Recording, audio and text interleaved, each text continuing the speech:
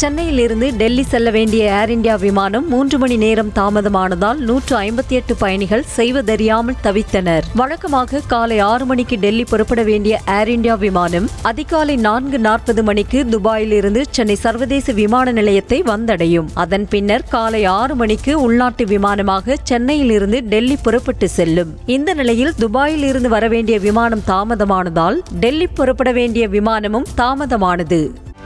செய்திகளை உடனுக்குடனும் துல்லியமாகவும் தெரிந்து கொள்ள சப்ஸ்கிரைப் பண்ணுங்க.